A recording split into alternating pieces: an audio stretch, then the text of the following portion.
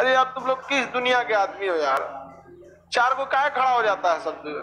बैठ जाओ लोग वहाँ से। प्रोजेक्टर के कम से कम पीछे खड़ा हो। प्रोजेक्टर के सामने नहीं पर्यावरण प्रदूषण ज़्यादा क्या आता है? कंटिन्यूअस होने की वजह से दिक्कत करता है। और पर्यावरण अवनमन जो होता है, वो कंटिन्यूअस नहीं होता। पर्यावरण अवनमन कंटिन्यूअस नहीं होता। पर्यावरण प्रदूषण में भी जो बायोडिग्रेडेबल होते हैं बायो क्या होता है? डिग्रेडेबल।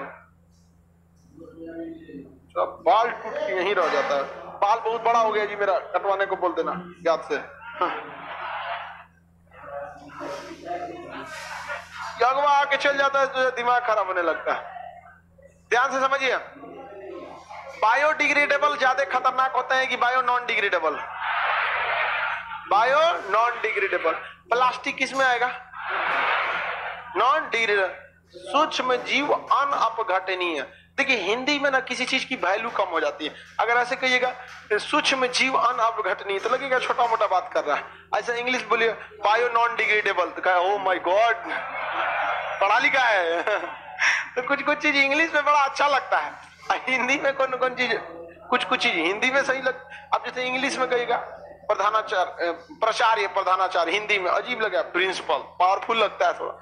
तो वैसे ही आप इसको चाहें तो आप सूक्ष्म जीव अनपघटनीय कहिए या बायो नॉन डिग्रेडेबल खतरनाक होता है बायो नॉन डिग्रेड लोहा वगैरह ये सब किसमें आते हैं? बायो नॉन डिग्रेडेबल तो नॉन डिग्रेडेबल जो होते हैं, खतरनाक होते हैं। डीडीटी प्लास्टिक कचरा, ई कचरा, ये सब डीडीटी होता है। सीवेज जो होता है, सीवेज को बोलते हैं वाहित मल।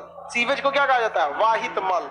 बहता हुआ कचरा, वाहित मल। वो भी बायो डिग्रेडेबल होता है। बस बसते आप उसमें प्लास्टिक वगैरह न फैलाइए। अब प्रदूषण बाबू कई टाइप के हो गए प्रदूषण क्या होता है ये तो समझ में आ गया। प्रदूषण यानी पोल्यूशन अलग अलग जगह से। पानी में फैलेगा तो जल प्रदूषण, मिट्टी में हुआ तो मृदा प्रदूषण, हवा में हुआ तो वायु प्रदूषण, परमाणु बम फोड़ दिए, नाभिकीय प्रदूषण ये टीवी, टावर इलेक्ट्रॉनिक ये सब जितना है, उससे आपका हो जाता है रेडियो एक्टिव प्रदूषण। हल्ला करने लगेंगे तो क्या हो जाएगा? साउंड पोल्यूशन जैसे यहाँ पर भी हल्ला ऐसे हल्ला करेंगे तो साउंड प्रदूषण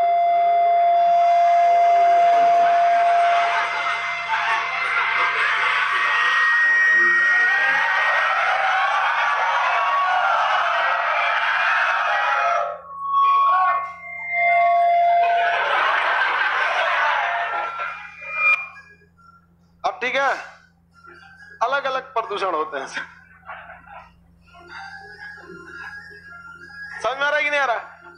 एक एक करके पढ़ते हैं। क्या करते हैं? एक एक करके पढ़ते हैं हम लोग। पहले स्टार्ट करते हैं जल प्रदूषण किसे? जल। क्योंकि आपके मटेरियल में पहले क्या दिया है? जल पर। वाटर पोल्यूशन जल प्रदूषण। अंग्रेज़ी में वाटर कौन सी है रे पकड़लवा वाटर पोल्यूशन वाटर पोल्यूशन जल प्रदूषण किसे कहा जाता है? देखिए ध्यान से समझिए। जल में घुलने वाले ऐसी चीज़ जो हमारे लिए लाभदायक नहीं है उन्हें हम जल प्रदूषण में रखते हैं। इसको पीने से अलग अलग बीमारियाँ होती है। समझिए एक नैनो टेक्नोलॉजी होता है नाम सुने नैनो टेक्नोलॉजी? न, एक नैनोमीटर बराबर दस के पावर कितना? Minus nine. Minus nine. Nine दस माइनस दस करेंगे तो एंगस्ट्रॉम में चला जाएगा। आजकल दुनिया में सबसे फ़ेमस हो रहा है नैनो टेक्नोलॉजी मतलब एक मीटर जो है ना नैनो देखिए नैनो टेक्नोलॉजी इतना छोटा होता है, दस के पावर माइनस नौ का मतलब होता है एक बटा दस के पावर नौ। एक बटा दस के पावर नौ। अगर हम एक बटा दस कहते हैं तो इसको कितना टुकड़ा में तोड़ना है? दस टुकड़ा। दस टुकड़ा में। अब समझिए ध्यान से। ये एक मीटर का लेंथ है। एक मीटर किसका लेंथ है? एक मीटर अगर हम कहते हैं एक बटा दस तो इसको कितने टुकड़ों में तोड़ेंगे? छोटा हो जाएगा। लेकिन अगर हम कहते हैं एक बटा सौ, और छोटा हो जाएगा। अगर कहते हैं एक बटा एक हज़ार, कहेंगे एक बटा दस हज़ार, एक बटा एक लाख। हा? एक बटा दस लाख। कैसा हो जाएगा। और छोटा ये बताइए तो।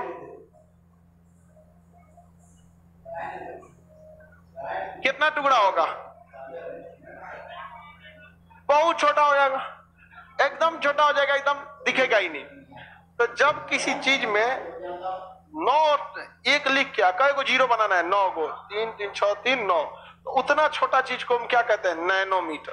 क्या कहेंगे? नैनोमीटर। नैनोमीटर के नाम से जानते हैं। इतना छोटा होता है नैनोमीटर। तो कोई भी चीज़ आजकल किस पर काम कर रही है? नैनोमीटर पर। एकदम बारीक से बारीक। पत्तियों में मिलने वाला छेद किसमें आएगा? नैनोमीटर हमारी त्वचाओं में जो छेद है, कैसा है? नैनोमीटर। तो जब कभी आप किसी भी पार्टिकल्स को इतना ना टुकड़ा तोड़ दे कि वो किसमें चला है? Nano particle. किसी पार्टिकल को जब आप किसमें तोड़ देते हैं? नैनो पार्टिकल अब वो पार्टिकल हमारे लिए शरीर उसे पचा सकता है। खड़ा लोहा पचा पाएगा। लेकिन वो अगर उसे नैनोमीटर में एकदम टुकड़ा कर देंगे तो क्या करेगा? पचा क्वेश्चन भी पूछेगा कि किसी, हमारे शरीर किसी धातु को बचा सकता है कि नहीं? बचा सकता कब? वो धातु कैसा होना चाहिए? नैनोमीटर हमारे शरीर में आयरन है या नहीं है? किस फॉर्म में है? नैनो एकदम छोटा छोटा लेके छड़ चबाइए। आयरन की कमी हो गई है, टाटा छड़ ले लिए, चबाते रहे। हाँ एनीमिया हो गया है, छड़ चबा रहे हैं। मर जाइएगा तुरंत वहाँ पे। क्योंकि आपको किसमें करना पड़ेगा? नैनोमीटर। नैनोमीटर में करना पड़ेगा। नैनो, इंडिया, पुणे की एक कंपनी थी उनके, वो बड़े सीईओ थे, वो आए थे यहाँ पर। वो नैनो कंपनी में काम करते हैं। कुछ कुछ चीज़ दूध दे के गए। हम आपको दिखाएँगे कैसे इतना छोटा होता है जो नैनोमीटर हम देखेंगे कैसे? वो किस तरह से लोहा का नैनोमीटर करना है, तांबा का? तो नैनोमीटर में रहेगा तो कोई दिक्कत नहीं है। लेकिन नैनोमीटर से बड़ा है तो क्या आप बचा सकते हैं? कोई भी पदार्थ अपनी नेचर चेंज कर देता है, कब? नैनोमीटर। जो लोहा नुकसान करता है, नैनोमीटर में पहुँच जाता है। नुकसान करने वाला लोहा नैनोमीटर में पहुँच जाता है। तो ये बड़ा फ़ायदा होता है। तो जल प्रदूषण में अगर हम लोहा को नैनोमीटर में मिला दें, किसमें मिला दें? नैनोमीटर में मिला दे। तो क्या होगा? वो काम करेगा या अच्छा रहेगा या खराब? अच्छा। लेकिन अगर नैनोमीटर को हटा के आप बड़ा किसी चीज़, बड़े पार्टिकल में मिला दे, क्या करेगा? दिक्कत। तो जल प्रदूषण नैनोमीटर के मिलने की वजह से नहीं होता है, बल्कि वो होता है बड़े पार्टिकल के। तो जल में अलग अलग पदार्थ मिले रहते हैं, जिससे क्वेश्चन पूछेगा, आपको बताना पड़ेगा। जैसे लोहा। क्या हो गया? लोहा। लोहा के कारण कौन सी बीमारी होगी भाई? विल्स सिरोसिस लोहा से सिरोसिस तांबा से कहेगा विल्सन तांबा से विल्सन आर्सेनिक आर्सेनिक से white food cadmium itai itai cadmium cadmium से इटाई इटाई कैडमियम से itai nitrate blue baby syndrome nitrate blue baby syndrome पारा यानी एच जी मिनी माता पारा से मिनी माता लोहा से बोलिए, सीरोसिस। लोहा से। लोहा से। लोहा लोहा तांबा, विल्सन। तांबा। तांबा। तांबा। Arsenic, white food. Arsenic, white food. Arsenic. Arsenic white food खजुआ टाइप का रोग होता है आर्सेनिक में। व्हाइट फ़ूड वगैरह, जोड़ में क्या होने लगता है? खुजली वगैरह होने लगता है। उसे क्या कहते हैं? व्हाइट फ़ूड आर्सेनिक से? White cadmium itai itai cadmium itai itai cadmium question पूछा था इटाई इटाई में कौन सा अंग प्रभावित होता है? किडनी इटाई इटाई में कौन सा रोग? किडनी डिस्टर्ब हो जाता है। इटाई इटाई में? इटाई इटाई में? किडनी इटाई इटाई में? Kidney nitrate blue baby syndrome. छोटे बच्चों में होता है, नीला पड़ के मर जाता है बच्चा। पानी में अगर नाइट्रोट रहेगा तो क्या हो जाएगा? Blue baby syndrome. Blue baby syndrome. Blue baby syndrome. Itai itai किसके कारण? Cadmium. Itai itai? Wilson.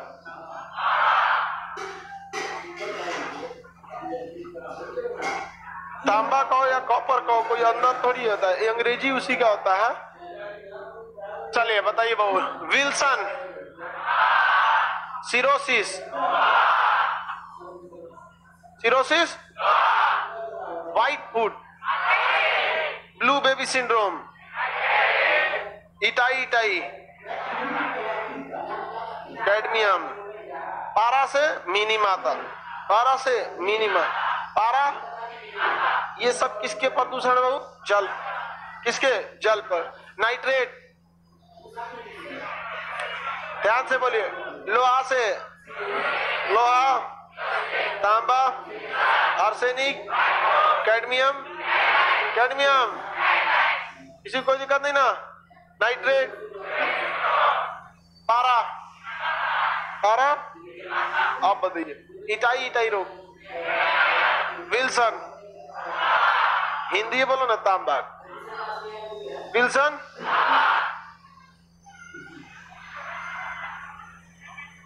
Minamata होता, मीना माता नहीं। बता रहे हैं। मिनी माता रोग नीचे वाला आ गया बता देंगे। मिनी माता जो होता है पारा के कारण होता है रोग। किसके कारण? पारा जब पानी में पारा की मात्रा रहेगी, आपके शरीर में मिनी माता नाम का रोग हो जाएगा, आपका शरीर लॉक हो जाएगा। जहाँ तहां से क्या हो जाएगा? बंद होने लगा काम करना शरीर छोड़ देगा। धीरे धीरे शरीर के हर एक अंग जकड़ने लगेंगे और एक ऐसा समय आएगा कि आपकी शरीर क्या हो जाएगी? मृत्यु होगी। मर जाएँगे। आपका काम खत्म। यही बकलोलवा। हो गया, सुने हो। क्या हुआ? बताओ, मिनी माता कौन सा रोग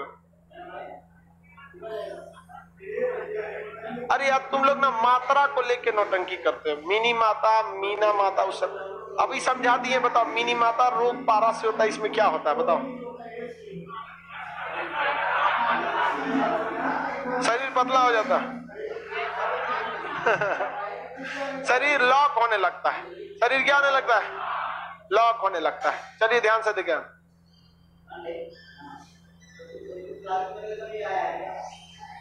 अब आगे समझाते हैं। ये हो गया ना, ये पहली बार ये बीमारी जापान में पहले ब्लू बेबी सिंड्रोम। नहीं blue baby syndrome? Wilson. Itai itai. लोहा से। पारा से। पारा। नाइट्रेट। नाइट्रेट पारा। लोहा। लोहा से cirrhosis cadmium. Arsenic.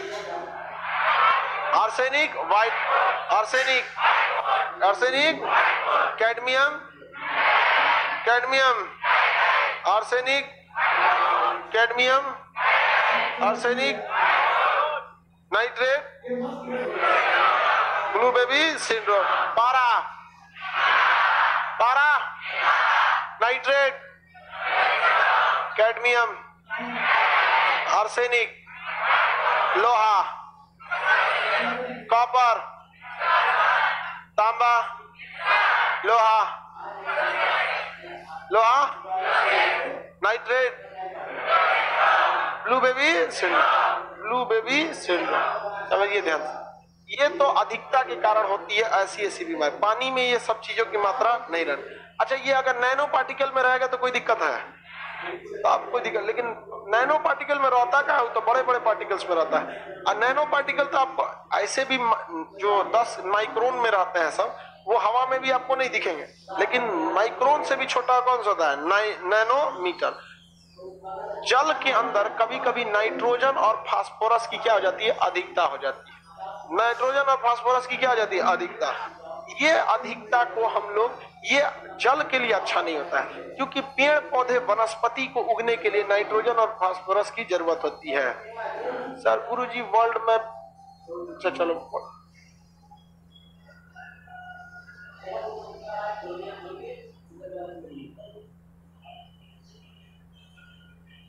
Sir, blue baby syndrome में माइट्रोकांडिया चेंज करना होता है क्या? ब्लू बेबी सिंड्रोम बहुत खतरनाक बीमारी है बहू। अगर हो जाता है 90 परसेंट केसेस में 99 परसेंट केस में जान लेके चला जाता है। कुछ कुछ बीमारी बहुत खतरनाक होते हैं। देखिए, पानी में अगर किसकी मात्रा बढ़ गई? नाइट्रोजन और किसकी? फास्फोरस। आपको ही पता है कि किसी पेड़ वनस्पति लगाने के लिए नाइट्रोजन, फास्फोरस और potassium, four is to two is to one चाहिए। तो ज़्यादा मात्रा में क्या चाहिए नाइट्रोजन और फास्फोरस। ये तो बहुत कम भी रहेगा। तो अगर पानी में नाइट्रोजन की मात्रा क्या जाए? बढ़ जाए। साथ में फास्फोरस की मात्रा बढ़ जाए। तो उसमें पेड़ पौधे उस पानी में नए नए पेड़ पौधे निकलने की संभावना बढ़ेगी कि घट जाएगी? बहुत ज़्यादा बढ़ जाएगी। नए नए पेड़ पौधे निकलने की संभावना बढ़ जाएगी।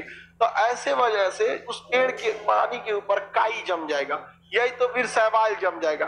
नहीं तो उसके ऊपर जल कुंभी जम जाएगा। इतने चीज़ जम जाएँगे कि वो उसके ऊपर पूरी पूरी हरे हरे हरे हरे पेड़ पौधे क्या कर जाएँगे? छाप जाते हैं। आप देखे होंगे तालाब वगैरह में, आपके गाँव का तालाब होगा, उसके ऊपर हरा रंग का पूरा क्या क्या छाप लिया है? काई। नहीं तो क्या कर दिया? जलकुंभी जलकुंभी तो बड़ा बड़ा पौधा होता है, इतना बड़ा बड़ा वो छाप लेता है। इससे दिक्कत क्या होता है कि तालाब के नीचे जी रहे मछली, कछुआ, जलीय जीव, इन्हें ऑक्सीजन सप्लाई नहीं मिल पाती है। अब धीरे धीरे उसमें से वनस्पति में से वो क्या होने लगते हैं? मरने लगते हैं। जलकुंभी होता है अब देखे कि नहीं जलकुंभी जलकुंभी होता है वहाँ पे तो उस जलकुंभी का पौधा एक फीट का होता है, इससे ज़्यादा नहीं। अब वो अगर पानी पे नाइट्रोजन, फास्फोरस जो है, वो अगर उसकी मात्रा ज़्यादा है तो जलकुंभी वगैरह निकलना चालू होगा और वो ऊपर छाप लेगा। मछली निकलेगी, सांस लेने के लिए उसका थुथुरे लड़ जाएगा, इसे निकलेगी, लड़ जाएगा। कहेंगे, सांस कैसे लेते हैं? जाओ, सुसाइड कर लेते हैं। मछली क्या कर लेगी? सुसाइड कर लेगी। समझे कि नहीं? मछली क्या कर लेगी? अरे सुसाइड क्या करेगी? खुद ही मर जाएगी। तो जब कभी भी ये ज़्यादा चीज़ों की मात्रा बढ़ जाए तालाब में नाइट्रोजन फास्फोरस की तो इसे क्या कहा जाता है? स्वपोष स्वपोषण। क्या कहते हैं? स्वपोषण। अपने से पोषण मिल जाता है। क्या मिल जाता है? नाइट्रोजन और फास्फोरस ये क्या जलीय जीव के लिए अच्छा होता है? स्वपोषण जलीय जीव के लिए क्या होता है? घातक होता है। उन्हें किस चीज़ की कमी हो जाती है? ऑक्सीजन नहीं मिल पाता है। जिस वजह से क्या हो जाते हैं? मर जाते हैं। ऐसी घटना हैदराबाद में हुआ है। कहा हुआ है? हैदराबाद हैदराबाद में एक झील है, जिसका नाम है हुसैन सागर। हैदराबाद में झील का नाम क्या है? हुसैन सागर। हुसैन सागर झील में किसकी अधिकता हो गई है? नाइट्रोजन। और किसकी? फास्फोरस।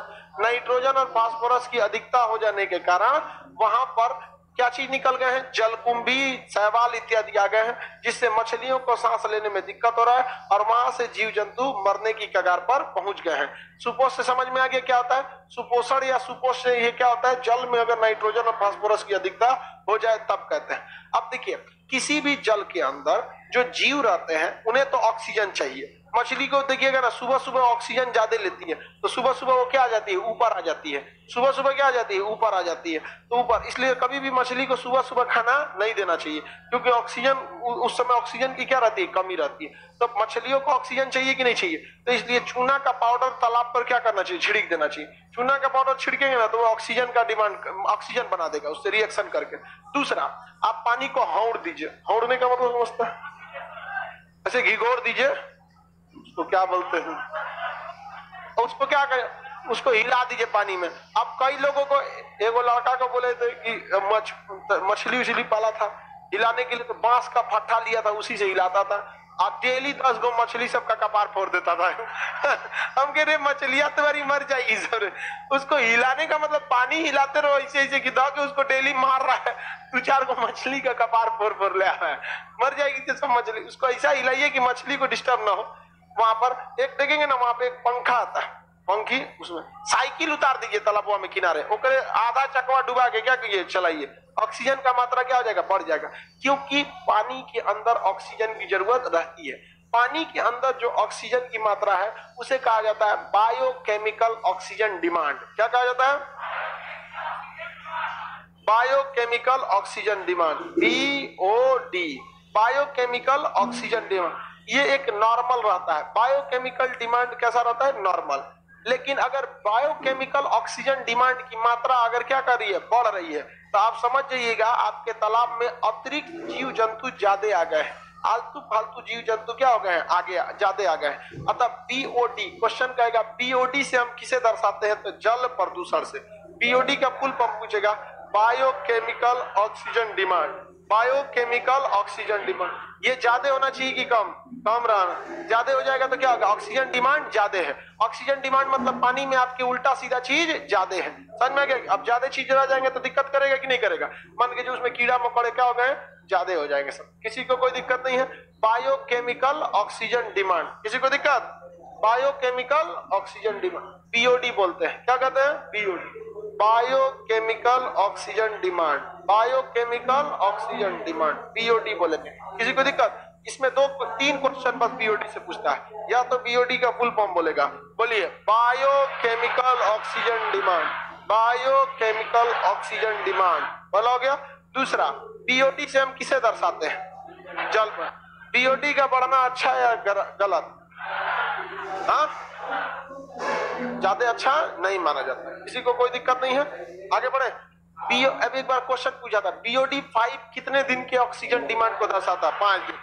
बीओडी टेन कितना को? दस दिन। बीओडी टू किसको दर्शाएगा? दो दिन। तो जितनी भी संख्या आगे लिखी रहेगी, वो उतने दिन को दर्शाता है। जितनी संख्या आगे लिखी है, उतने दिन को क्या करेगा? दर्शाएगा। बीओडी जल प्रदूषण को दर्शाता है कि वायु प्रदूषण? हाँ? जल। जल प्रदूषण को। बीओडी का बढ़ना अच्छा या गलत?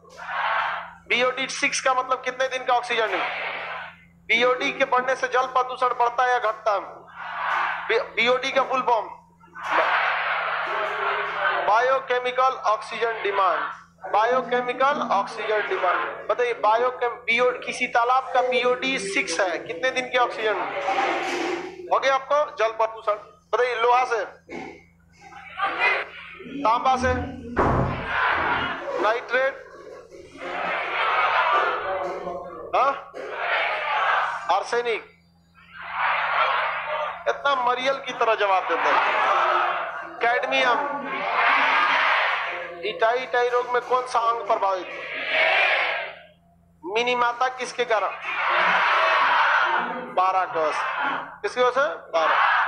अब इसके बाद देखते हैं हम लोग, मृदा प्रदूषण सॉइल पोल्यूशन कौन सा पोल्यूशन सॉइल इसमें कोई दिक्कत है बोलिए? इसमें कोई दिक्कत है तो बोलिए।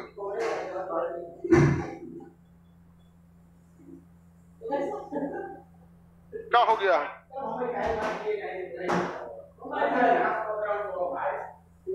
बायोलॉजिकल ऑक्सीजन डिमांड बायोकेमिकल लिख लीजिए।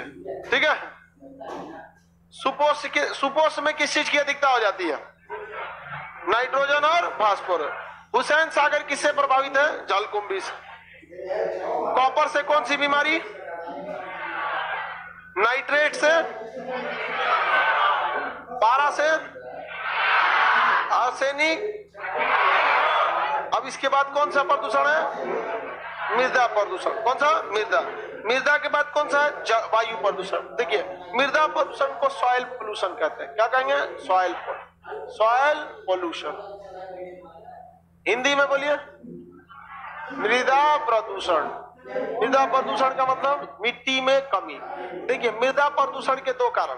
मृदा प्रदूषण के कितने कारण दो कारण। दो कारण। पहला होता है कि अत्यधिक मात्रा में क्या कर दीजिए? उर्वरक या कीटनाशक। अत्यधिक मात्रा में उर्वरक डाल दीजिए। उर्वरक या फिर उसमें डाल दीजिए कीटनाशक। कीटनाशक। कीटनाशक। अत्यधिक मात्रा में जब आप उर्वरक और कीटनाशक का प्रयोग करेंगे, आप बेंजीन हेक्साक्लोराइड डालेंगे B BSC di chloro di trichloroethane डालिए डीएससी डालिए लिथाल डोज 50 डालिए अलग अलग टाइप के उर्वरक डालिए, इस सब के डीडीटी छिड़क दीजिए बीजेसी डाल दीजिए एल डी पचास lethal dose fifty lethal dose fifty खतरनाक होता चूहा हुआ मर जाते हैं उससे, कीड़े मकोड़े। तो इससे डालने से कीटनाशक वगैरह का प्रयोग करने, अत्यधिक प्रयोग करने से वो ज़मीन कैसी होती है? प्रदूषित हो जाती है। उसमें ऑक्सीजन वगैरह या जो ज़रूरी उर्वरक है, उनकी मात्रा घट जाती है। दूसरा होता है इरोजन की वजह से। इसके वजह से? इरोजन इरोजन मतलब क्या होता है? अपर्दन। अपर्दन। क्या होता है? अपर्दन। देखिए अगर बहुत ही ज़्यादा मात्रा में क्या डाल देंगे? उर्वरक डाल देंगे। तो भी उसकी उर्वरक मेन क्षमता क्या हो जाएगी? खत्म हो जाएगी। और इरोजन यानी अपर्दन हमेशा बाढ़ आएगा, पानी पकड़ के लेके चल जाएगा। आंधी आएगा, मिट्टी की ऊपरी परत लेके चला जाएगा। नदी का बाढ़ आएगा काट की मिट्टी लेके चला जाएगा। तो अपर्दन अच्छा नहीं होता है। अपर्दन का मतलब होता है मिट्टी की ऊपरी परत का कटाव। ये बहुत ज़्यादा अच्छा नहीं माना जाता है। क्योंकि मिट्टी में जितने भी ज़रूरी उर्वरक फर्टिलाइज़र फर्टिलाइज़र पोषक पदार्थ न्यूट्रिशन रहते हैं, ये ऊपरी परत में ही रहते हैं। मिट्टी की जब ऊपरी परत छीण होने लगती है या खत्म होने लगती है तो ऐसी स्थिति को रेह या कल्लर कहेंगे। क्या कहेंगे? रेह। इसी को क्या कहते हैं? कल्लर। रेह या कल्लर ऊपरी परत से उर्वरक क्षमता घटने लगती है। तो प्रदूषण में क्या होती है? क्वालिटी में ही तो गिरावट आती है। तो ऊपरी परत में हल्का सा छीड़ हो जाना या घट जाना, क्या कहलाएगा भाई?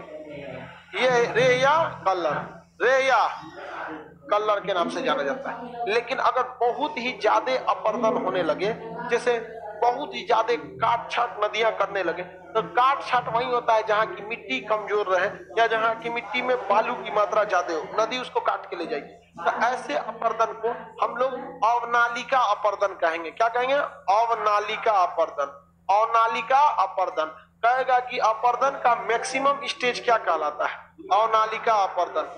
अपर्दन का मैक्सिमम स्टेज क्या कहलाएगा? हाँ? अनालिका, अपर्दन। अनालिका, अपर्दन। किसी को कोई दिक्कत नहीं है? कोई दिक्कत नहीं? यार लाइव वाले आप लोग ना कुछ कुछ क्वेश्चन पूछता रहता है। दो चार को लाइवों में बैल होता है। इसे क्या कहेंगे बाबू? रेहिया कल्ला। अत्यधिक अपर्दन हो जाएगा तो उसे क्या कहेंगे? अनालिका, अपर्दन। मैक्सिमम स्टेज हो जाता है। और एकदम खतरनाक हो गया तो बीहड़ बन जाता है। क्या बन जाएगा बीहड़ बन जाएगा। इसे रिविन रियून कहते हैं। क्या कहते हैं? रियून बीहड़। बहुत ही खतरनाक। इतना ज़्यादा गड्ढा गुड्ढी कर दिया ना, उसी क्या कहते हैं बीहड़ बीहड़ की ज़मीन में आप बाइक नहीं चला पाएँगे। कहीं जाएँगे तो 10 फीट का गड्ढा 30 फीट ऊपर 15 फीट नीचे, ऐसा टेढ़ टाड़ गढ़ा गढ़ही हो जाएगा। एक जगह पे दो ढाई सौ गढ़ा गढ़ही कर दीजिएगा, एक जगह अगल बगल में। वैसे ही क्या हो जाता है बीहड़ अत्यधिक अपर्दन, कहीं से काट के इतना गड्ढा फेंक दिया, कहीं से उधर फेंक दिया तो अत्यधिक मात्रा में जब अपर्दन हो जाता है तो उसे क्या कहा जाता है बीहड़ सबसे खराब स्थिति क्या हो जाती है? बीहड़। बीहड़ में आप साइकिल नहीं चला पाएँगे। बीहड़ में मोटरसाइकिल नहीं चला पाएँगे। बीहड़ में आप जाएँगे, खेती नहीं हो सकता है। गड़ागुड़ी में कैसे खेती कीजिएगा? बीहड़ काम आता है गुंडे बदमाश को छुपने के लिए। पहले गुंडा बदमाश कहाँ छुप जाता था? बीहड़ में। सबसे ज़्यादा बीहड़ बनाती है चंबल नदी। कौन सी नदी? चंबल नदी। सर्वाधिक बिहार बनाने का काम कौन नदी? सर्वाधिक बिहार सर्वाधिक बिहार चंबल नदी बनाती है। कहाँ पर है? राजस्थान में। यहाँ चंबल के डाकू सुने हैं? तो उस समय बिहार में बहुत खतरनाक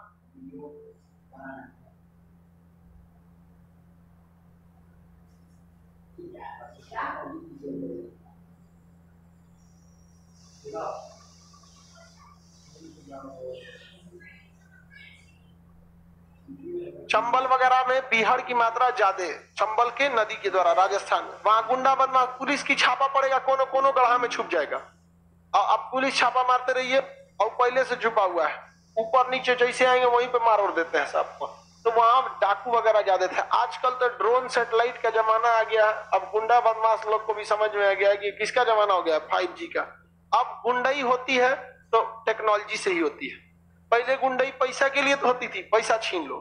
अब क्या ज़रूरत है छीनने का? ओटीपी मांग लो। थोड़ा सा एडवांस टेक्नोलॉजी आ गया। ओटीपी वन टाइम पासवर्ड दो चीज़ ध्यान रखिएगा। ओटीपी शेयर करने से पहले ये देखिएगा, उस पर लिख देता है, ये किस चीज़ का ओटीपी है? आधार कार्ड का ओटीपी है इनकम टैक्स का ओटीपी है जीएसटी का ओटीपी है, आपके बैंक का ओटीपी है। ऐसा नहीं कि कुछ का कुछ ओटीपी दे दी। समझ में आ गया कि नहीं आएगा नौटंकी नहीं नहीं तो आपका पैसा खाली हो जाएगा। बैंक इस पे हाथ खड़ा कर देती है। आप ये मत सोचिएगा कि बैंक आपके लिए खड़ी रहेगी। क्योंकि बैंक का काम होता है कि भाई आपके एंड से हुआ है, आपने ओटीपी शेयर किया है।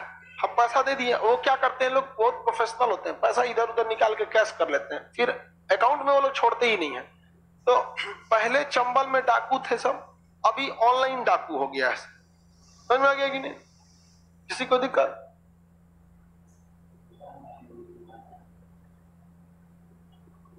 वन टाइम पासवर्ड ओटीपी होता है। हाँ भाई साइबर क्राइम बोलते हैं, सही बोल रहा है। इसको क्या कहा जाता है? साइबर साइबर क्राइम के बढ़ने का मुख्य कारण होता है अज्ञानता।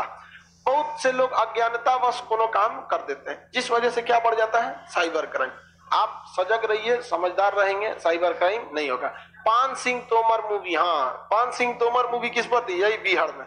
चंबल के बिहारों पर थी। आगे बढ़ते हैं। ये कौन सा प्रदूषण बाबू? मृदा प्रदूषण। मृदा प्रदूषण में खेतों में अत्यधिक उर्वरक या कीटनाशक से क्या जल प्रदूषण होगा? हो जाएगा। इसमें आप खूब ज़्यादा कीटनाशक डालिएगा बाढ़ आएगा तो सारा पानी बाढ़ में मिल जाएगा। बाढ़ का पानी लास्टली कहाँ चला जाएगा? नदी में। और नदी में क्या हो जाएगा? मृदा पर, जल प्रदूषण। तो हर एक कई प्रदूषण एक दूसरे से जुड़े भी रहते हैं। एयर पोल्यूशन सबसे इंपॉर्टेंट सबसे इंपॉर्टेंट पोल्यूशन एयर पोल्यूशन। इसे हिंदी में कहेंगे वायु प्रदूषण। वायु प्रदूषण। वायु प्रदूषण। वायु प्रदूषण में एरोसोल सबसे मेन भूमिका निभाता है। एरोसोल क्या कहते हैं? हवा में उड़ रहे धूल कण को क्या कहा जाता है? एरोसोल। आप कंबल ऐसे झाड़िएगा, उसमें से क्या निकलेगा? एरोसोल। समझ में क्या निकलेगा? एरोसोल निकलेगा। अब जैसे इधर कुछ किसका रुमाल उमाल छूटा जी। लड़की सबका। इसको झाड़ देंगे तो इसमें से क्या निकलेगा एरोसोल। क्या निकलेगा? एरोसोल। इसको झाड़ने पे क्या निकलता है? एरोसोल। और घूम के क्या करेगा? प्रदूषण कर देगा यहाँ पर। ले के जाया करो। लड़की सब कुछ कुछ छोड़ के चल जाती है। ये सब सब सामान वामान लेके जाया करो। एरोसोल का काम समझ में आ गया? हा? हवा में उड़ रहे छोटे छोटे धूल कण को क्या कहते हैं? एरोसोल। क्वेश्चन बीपीएससी में पूछा था। कहा था कि एरोसोल का संबंध किस प्रदूषण से है? जल प्रदूषण, वायु प्रदूषण, भूमि, कौन सा प्रदूषण? हवा में उड़ने वाले धूल कण को क्या कहेंगे? एरोसोल। क्या कहेंगे? एरोसोल के नाम से जाना जाता है। यह एरोसोल सबसे ज़्यादा सीमेंट उद्योग में होता है। सीमेंट बहुत पतला होता है, बारीक होता है, देखे होंगे। सीमेंट उद्योग में ना एस्बेस्टस और उसके जो कण होते हैं, वो हवा में क्या होते हैं उड़ते रहते तो मास्क जो बना था ना एक्चुअली डॉक्टर और एरोसोल उद्योग वालों के लिए ही बना था। डॉक्टर सबके लिए मास्क लगाना ज़रूरी था, बीमारी ना फैले। और कोरोना ने तो पूरा मास्क को बहुत ज़्यादा बढ़ा दिया यहाँ पर। लेकिन आप लोग तो ढीठ हो गए हैं। और कोरोना बहुत जल्दी, बस 20 दिन का और बात है। 20 दिन के अंदर अंदर हम लोग वैक्सीनेशन के मामले में पहुँच जाएँगे पंचानवे करोड़। अभी तक तिरासी, बेरासी, तिरासी करोड़ वैक्सीन लग चुका है। जिस दिन हम लोग पहुँचेंगे, एक करोड़ मतलब सौ करोड़ के पास, उस दिन कोरोना खत्म। बाय, भागो भागो यहाँ से। कोरोना क्या हो जाएगा? खत्म तो डॉक्टर्स के लिए मास्क बना था। सीमेंट उद्योग में जाएँगे, इतना सीमेंट उड़ते रहता है एसबेस्टस सीमेंट में क्या होता है? पत्थर के छोटे छोटे कण होते हैं, जिसे क्या कहेंगे? एसबेस्ट वो हवा में उड़ रहा होता है। आप सांस लेते रहिएगा धीरे धीरे जाते रहेगा। एरोसोल दिखता है। अभी जो हम रुमाल से झाड़े हैं, ये किसके नाक में गया होगा, कुछ पता है? तो एस्बेस्टस जो होता है वो हाँ ऊपर गया होगा। तो, तो सीमेंट उद्योग में जो रहेगा दिन भर बेचारे के नाक में क्या जाते रहता है? एस्बेस्टस इसलिए उसको मास्क देना ज़रूरी रहता है। और वैसे बीमारी होते होते फेफड़ा में धीरे धीरे क्या जमने लगेगा? सीमेंट। और सीमेंट जमेगा फेफड़ा में पहले से पानी रहता है। उस फेफड़ा को क्या कर देगा? सड़ाने लगता है। इसे व्हाइट कैंसर कहा जाता है। क्या कहा जाता है? व्हाइट कैंसर सीमेंट उद्योग में काम करने वालों में एस्बेस्टस के धूल कण नाक में जाते रहते हैं। इससे उत्पन्न बीमारी को हम लोग व्हाइट कैंसर कहते हैं। कौन सा कैंसर व्हाइट कैंसर कौन कैंसर व्हाइट कैंसर किसी को कोई दिक्कत नहीं है। व्हाइट कैंसर किस उद्योग में होता है? हा? सीमेंट उद्योग में। किसी को कोई दिक्कत नहीं है। कब होगा? कब होगा जब आप सीमेंट उद्योग में लंबे समय से काम करते रहेंगे, तब। ऐसा नहीं कि सीमेंट फैक्ट्री घूमने गए, व्हाइट कैंसर लेके चला। ऐसा नहीं होता है धीरे धीरे होता है। तो पहला तो आप एरोसोल समझ में आ गया। क्या होता है एरोसोल? हवा में उड़ रहे छोटे छोटे धूल कण को क्या कहते हैं? एरोसोल। धूल कण क्या कहलाता है? एरोसोल। आंधी वगैरह देखते होंगे, लू वगैरह चलता होगा, देखते होंगे एरोसोल आता है। पूरा धूल ऐसे रख देता है। बारिश के बाद एरोसोल क्या हो जाते हैं? ढक जाते हैं। बारोसोल ढक ये एरोसोल अलग अलग चीज़ों के टुकड़े होते हैं। अलग अलग चीज़ों के क्या होते हैं? टुकड़े। कहीं डीजल का धुआँ, पेट्रोल का धुआँ, ये सब क्या बन के जा रहा है? एरोसोल बन के जा हवा में वो क्या होने लगते हैं? तैरने लगते हैं। अब बारिश होता है तो वही लेके बरस जाते हैं। बारिश के बाद एरोसोल की मात्रा घट जाती है। बारिश के बाद एरोसोल की मात्रा क्या हो जाती है? घट जाती है। आगे बढ़े। अब इसमें अलग अलग गैसों से अलग अलग प्रदूषण होता है। कहेगा कार्बन मोनोऑक्साइड से कौन होता है? Carbon dioxide, sulphur dioxide C F C H F C nitrogen dioxide, सबका अलग अलग होता है। लोग स्टार्ट करते हैं जो सबसे घातक होता है। कार्बन मोनोऑक्साइड, देखिए, ऑक्सीजन जहाँ रहता है उसे ऑक्साइड कहते हैं। और कार्बन जो है, कार्बन कार्बन और ऑक्साइड, एक गो रहेगा तो मोनो दूगो रहेगा तो डाई। तो ये कार्बन एगो है तो मोनोऑक्साइड। Carbon monoxide. मोनो मने एगो और दूगो रहता तो di. Carbon dioxide. Carbon trioxide. ये होता ही नहीं नहीं बन पाता ये। समझ में गया? तो कौन सा हो गया? Carbon monoxide. Carbon monoxide. लिखना पड़ेगा कि इसका नाम कार्बन मोनोऑक्साइड होता है। Carbon monoxide. सबसे पहले कि ये अम्लीय है कि क्षारी है कि उदासीन है? ये बताओ बाबू कि कितना को आप याद रख सकते हैं? अमली है कि छारी है कि उदासीन है? जिस तरह आप लड़का लड़की देख के फ़र्क बता देते हैं ना, कि लड़का है कि लड़की है, समझ में गया? उसी तरह गैसों को भी देख के बता नहीं सकते कि अमली होगा कि छारी होगा कि उदासीन होगा। देखिए ओएच रहेगा तो क्षारी होगा। बताइए एन ओएच क्या है? क्षारी ऑक्सीजन अगर रहेगा तो उदासीन होगा, लेकिन ऑक्सीजन एक से ज़्यादा हो गया तो अमली हो जाएगा। बताइए, ये हम आपको ऑप्शन देते हैं। ये उदासीन की अम्लीय हो। गया? अगर एक ऑक्सीजन है तो उदासीन एक हो तो बिजली तड़कती है तो एनो गैस निकलता है। कैसा है ये? उदासीन। न्यूट्रल उदासीन को क्या कहते हैं? न्यूट्रल इसका पीएच कितना रहेगा? सर तो ये कैसी गैस है? उदासीन। कैसी गैस है? उदासीन है। कैसी है? उदासीन। किसी को कोई दिक्कत नहीं। ये जल में घुल जाती है। जल में घुलनशील। ये केमिस्ट्री में पढ़ना पड़ेगा, जल में घुलनशील होगा कि नहीं होगा। ठीक है? वो यहाँ इतना इजीली बायोलॉजी में समझ में नहीं आएगा। अच्छा हालाँकि जब केमिस्ट्री पढ़ाएँगे तो सब समझ में आएगा। जल में घुलनशील होगा कि बेंजीन में घुलनशील होगा? दो जगह तो घुलवे करेंगे। या तो सबसे बेंजीन में घुलो, या तो जल में। जल में घुलेगा तो कोई दिक्कत नहीं। बेंजीन में बेंजीन कार्बन का बना होता है। तो कहेंगे कार्बनिक विलायक होता है। बेंजीन में घुलेगा तो सोचो अल्कोहल में जाएगा। समझ में वो तो केमिस्ट्री का टॉपिक है। फिजिक्स केमिस्ट्री पढ़ेंगे तो उसका ज़्यादा ध्यान से कर। एक और क्वेश्चन पूछता है। हवा से भारी की हवा से हल्का। भारी की हल्का। एक बात बताओ। अगर हम आपसे कहें कि आपका वज़न हमसे भारी है या हल्का है तो पहले आपको हमारा पता होना चाहिए कि नहीं? हाँ कितना होंगे हम? सत्तर, बहत्तर, पचहत्तर? राउंड द फिगर सत्तर क्या?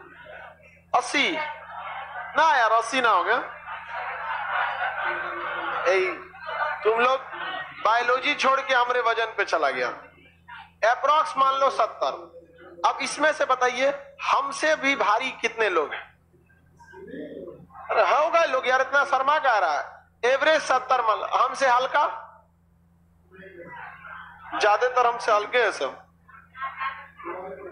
हाँ लड़की से तो बीस किलो की है, सर। लड़की को कहो कितना किलो को, बीस किलो को कहोगी तो बगल में देखिएगी कौन अठारह किलो के हम है। चलो, ध्यान दो इधर। तो सबसे पहले कौन सा चीज़ हल्का है या कौन सा चीज़ भारी है, इसको पता करने के लिए आपको दोनों का वेट पता होना चाहिए। दोनों का क्या होना चाहिए? पता अदरवाइज़ में आप हवा में है। ऐसे नहीं पता कर पाएँगे। हवा का जो एवरेज जो भार रहेगा, वो 28 मान के चलेंगे। कितना? अट्ठाईस। हालाँकि अट्ठाईस दशमलव आठ होता है। आप कितना मान के चलेंगे? 28 अब इसको पता करना है भारी है कि हल्का। कार्बन का अणुभार कार्बन होता है छ इसका अणुभार बारह। तो बारह ऑक्सीजन का परमाणु क्रमांक आठ। आठ दुनी सोलह। सोलह बारह जोड़िए। हाँ? ले। ये तो गड़बड़ हो गया। भारी की हल्का। बराबर। कैसा हो जाता है? बराबर। ये जल, ये वायु के लगभग क्या होता है? बराबर। लगभग लगभग क्या होता है भाई? बराबर होता है। आगे बढ़ जाते हैं आप तो ये उदासीन हो गया। लगभग वायु के भार के बराबर होता है। इसके पास कोई कलर नहीं होता है, कोई रंग नहीं होता है, कोई गंध नहीं होता है। ना ही कोई टेस्ट होता है। तो रंगहीन, गंधहीन, स्वादहीन। कोई टेस्ट नहीं, कोई कलर नहीं, कोई स्मेल नहीं। तो इसका, ये कैसा होता है? हर मामले में उदासीन। रंग होगा, गंध होगा, क्या इसमें कोई स्मेल आएगा? नहीं नहीं आता है। ये पूरी, ये उदासीन होता है। रंगहीन, गंधहीन, ये सब लिखना पड़ेगा, जी। सब इसमें नहीं होता है। वायु के लगभग भार के कैसा होता है? बराबर। कुल वायु प्रदूषण का 50 परसेंट ससुरा अकेले कर देता है। टोटल वायु में जितने प्रदूषण है, उसका 50 परसेंट अकेले कौन कर देता कार्बन मोनोऑक्साइड। क्वेश्चन पूछेगा, कार्बन मोनोऑक्साइड सबसे तेज़ी से रिएक्शन किससे करता है? हीमोग्लोबिन से। देखिए ध्यान से, हमारा हीमोग्लोबिन जो है, वही फेफड़े तक आके ऑक्सीजन ले जाता है। हमारा फेफड़ा ऑक्सीजन की सप्लाई नहीं करता है। हमारा फेफड़ा पानी की उस टंकी के समान है, जैसे पानी टंकी ऊपर रहता है। समझ में गया कि नहीं गया? तो वैसे ही हमारे शरीर में हवा की टंकी कौन है? फेफड़ा। हम ऑक्सीजन लेते हैं और कहा चल जाता है? फेफड़ा में। इस फेफड़ा में हम जब सांस लेते हैं ऐसे तो नाइट्रोजन गया 78 परसेंट, ऑक्सीजन गया 21 percent, carbon dioxide, carbon monoxide, सारा चीज़ गया धीरे। अब इसमें हमारे हीमोग्लोबिन का काम है। इसका हीमोग्लोबिन। एचपी एचपी एचजी लिख दिए जी। हीमोग्लोबिन का काम है कि वह किसको अंदर छाटे इसमें? ऑक्सीजन को। किसे छाटते हैं? ऑक्सीजन तो ऑक्सीजन को इन सारे गैसों में छाटने का काम कौन करता है? हीमोग्लोबिन। कौन करेगा? हीमो। हीमोग्लोबिन अगर नहीं रहेगा तो आप सांस लेते रह जाएँगे, कोई फ़ायदा है? अब बताइए। हीमोग्लोबिन तभी बनेगा जब आपके शरीर में आयरन की मात्रा। ये बताइए, आपके शरीर में आयरन की मात्रा कम तो हीमोग्लोबिन बनेगा? और हीमोग्लोबिन नहीं बनेगा तो फेफड़े से ऑक्सीजन कौन ले जाएगा? नहीं ले जाएगा। आपको कौन बीमारी होगी? एनीमिया।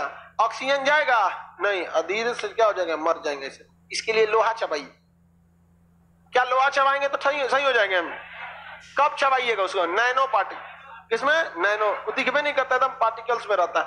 नैनो पार्टिकल बना देगा, फिर उसको दवा में मिला देगा। आप आयरन की गोली खाते रहिए। गर्भवती महिलाओं को अक्सर आयरन की कमी हो जाती है, क्योंकि पेट में जो बच्चा रहता है, उसको आयरन की बहुत ज़्यादा ज़रूरत होती है। तो हीमोग्लोबिन जो है, वो किसको सब, किसको लेके जाता है? हा? लेकिन हीमोग्लोबिन का पहले से चक्कर चलल है केकरा से? कार्बन मोनोऑक्साइड समझ गया? अब मान के चलिए, आप किसी के साथ टेम्प्रोरी हैं। तो हीमोग्लोबिन ऑक्सीजन के साथ कैसे रहता है? टेम्प्रोरी लेकिन आपका मेन जेकरा से चक्कर चलल है, अगर वो मिल गया तो आप किसको सेलेक्ट करेंगे? बकलोलवा कर है दोनों को। लड़का का दिल होटल होता है। उसमें कोई आए, किसी के लिए कोई रिस्ट्रिक्शन नहीं है। उसके लिए क्या? सबके लिए समान होता है। लड़कों का दिल बहुत बड़ा होता है। सबके लिए जगह है, घर वाली के लिए, बाहर वाली के लिए, दोस्त की पत्नी के लिए, सबके बहुत खतरा होता है।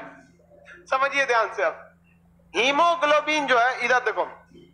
हीमोग्लोबिन किसको लेकर जाता है? ऑक्सीजन। लेकिन एक्चुअली हीमोग्लोबिन दिल से किसे पसंद करता है? किसे? कार्बन मोनोऑक्साइड दिल से किसे पसंद करता समझ गया कि नहीं? गया अब हीमोग्लोबिन को समझिए कृष्ण भगवान। ये हो गई रुकमणी ये हो गई राधा। समझ आ गया कि नहीं आ गया? किसी को दिक्कत? अब समझ रहे अब हमारे, अगर मान के चलिए हम ऐसे सांस लिए। नाइट्रोजन गया, ऑक्सीजन गया, सब कुछ गया।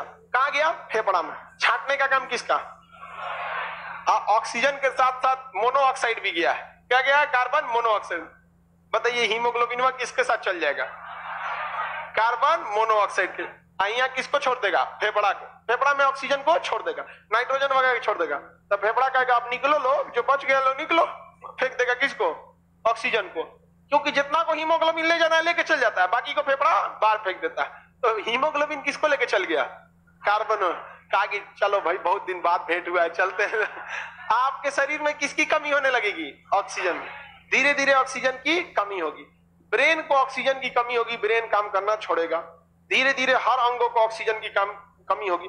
सबसे पहले ब्रेन को कमी होगी ब्रेन का होगा चक्कर आएगा, आप हो जाएँगे, नींद आएगा, आप हो जाएँगे, बेहोश हो जाएँगे। फेफड़ा को ऑक्सीजन की कमी होगी, फेफड़ा काम करना छोड़ेगा। दिल को ऑक्सीजन की कमी होगी, वो छोड़ेगा। किडनी छोड़ेगा, सब छोड़ देगा। आधा घंटा में आप इस प्राण को, आपका प्राण छोड़ देगा। आप इस दुनिया से चले हो गए इस ससुराई दूगो के चक्कर में आदमी मरा गया। समझ में आ गया कि नहीं आ गया? समझ में आ गया? तो ये कार्बन मोनोऑक्साइड कभी भी आप मत सुनिएगा, वरना कार्बन मोनोऑक्साइड का पहले से चक्कर किससे है? किसे लड़की लोग को समझ में आ रहा है? चलिए ध्यान से। आगे बढ़े। अब बात करते हैं, भैया, ये कार्बन मोनोऑक्साइड मिलेगा कहाँ पर? तो आप जब कभी किसी ईंधन को जलाते हैं, जैसे लकड़ी, कोयला, डीजल, पेट्रोलियम किसी भी चीज़ को जलाते हैं तो उससे जो काले रंग की गैस निकलती है क्या होती है? Carbon monoxide. सोचिए, इतनी जहरीली गैस होती है। मोटरसाइकिलों में से जो धुआँ निकलता है, कार्बन मोनोऑक्साइड। गाड़ियों में से मोनोऑक्साइड। डीजल जलता है, मोनोऑक्साइड। कोयला जलेगा, मोनोऑक्साइड। लकड़ी जलेगी, मोनोऑक्साइड। इतना खतरनाक। इसलिए जहाँ कहीं धुआँ रहे, वहाँ ज़्यादा देर नहीं रुकने, रुकिएगा। हाँ अलग बात है कि धुआँ जब रहता है तो थोड़ा धुआँ भी जाता है, थोड़ा ऑक्सीजन भी जाता है। थोड़ा थोड़ा। लेकिन एक एक जगह एक लड़का जो था, हॉस्टल का वार्ड बॉय था। वार्ड समझते हैं, हॉस्टल में वार्डन जो होता है। तो वार्डन जो था, वो खाना वाना बनाता था। बॉयज़ हॉस्टल था, उसमें खाना वाना नहीं बनता है। खाना बनाता था। ठंडी का दिन था। खाना बनाया, जो कोयला वाला चूल्हा होता है ना, कोयला अभी पूरी तरह, खाना बनने के बाद भी कोयला थोड़ा सा बच जाता है। वो सोचा कि ठंडी का दिन है, मस्त सोएँगे हम। कोयलवा वाला चूल्हा कहाँ घुसा लिया? कमरा में। दरवाज़ा बंद किया, लगाया चिटकिली अंदर का रूम टेम्परेचर बहुत अच्छा हो गया। मस्त सोया। गधा कहीं कहीं समझ में नहीं आया कि एक घंटा के अंदर अंदर इसके कमरे के अंदर का सारा ऑक्सीजन खत्म हो जाए। तो ऑक्सीजन साथ छोड़ देगा। और चूल्हा में से निकल रहा है सौ टन। कार्बन मोनोऑक्साइड वो बेचारा उसका धीरे धीरे क्या सूँगा मोनोऑक्साइड उसको नींद आने लगा, और सूँगा चक्कर आया, और सूँगा बेहोश हुआ। धीरे धीरे धीरे धीरे सुबेरे निकला। सुबेरे नाश्ता का टाइम हो गया। नाश्ता बना नहीं है। सब हल्ला करने लगा सर, लड़का सब हमारा क्लास जाना है, नाश्ता नहीं बना। ढक ढका रहा है खोलिए नहीं रहा। बाद में तूर के देखा गया कि बाबू तो गई लो। इसलिए कभी भी अगर आप घर के अंदर आग वगैरह जला के रखें, एक खिड़की खुला रखिए, ताकि वहाँ से ऑक्सीजन आता रहे। वरना केवल कार्बन मोनोऑक्साइड रहेगा, आप था हो जाएँगे। क्या हो जाएँगे? समझ में गया? अगरबत्ती से भी निकल, नहीं। बेचारा पूरा डर गया है। करेगी सर, तब तो अगरबत्ती से भी निकलता होगा। भाई, अगरबत्ती अपने औकाते पर न निकालेगा। समझा गया कि नहीं? कि ओझा हो जाए, आप भूत उत उतारते हैं क्या? जहाँ चुड़ैल लुड़ैल रहती है सब भूत उत उतारना, वहाँ वहाँ जो जलाया जाता है ना, अगरबत्ती, झाड़ू ऐसा जलाया जाता है। इतना झोंझे लेके ऐसे भूत, परेत सब भाग जुझे यहाँ से। समझ में आ गया। कि नहीं आ गया तो उससे नहीं होता। अब अब जैसे यहीं पे हम एक कुंटल कोयला जला दें तो थोड़ी ना कोई मरेगा। गर्मी लगे, क्योंकि इतना वेंटिलेशन का जगह है। इधर से भी ऑक्सीजन आ रहा है, कार्बन मोनोऑक्साइड भी बिखर जाएगा। लेकिन अगर जहाँ कार्बन मोनोऑक्साइड की मात्रा ज़्यादा हुई, आपको टपका देगा। दम घोटने वाली गैस किसे कहते हैं? थ्रोटिंग गैस गला घोटने वाली दम घोटने वाली गैस कार्बन